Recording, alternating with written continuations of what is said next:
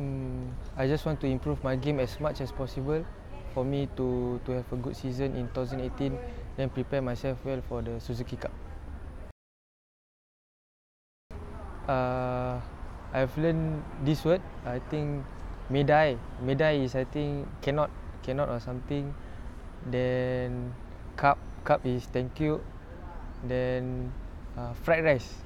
Kau pat kau pat something. Then egg and chicken. So it's a different pronunciation. I think is kai and kai. Yeah. So I think the the much stronger word I think is chicken. The normal kai is egg. Mi goreng. Thai ice milk tea. Think during the 2012 Suzuki Cup final that we won them in Bangkok. So for me, even though I didn't play much, but sitting on the bench, the thrill that I received is such a memorable one.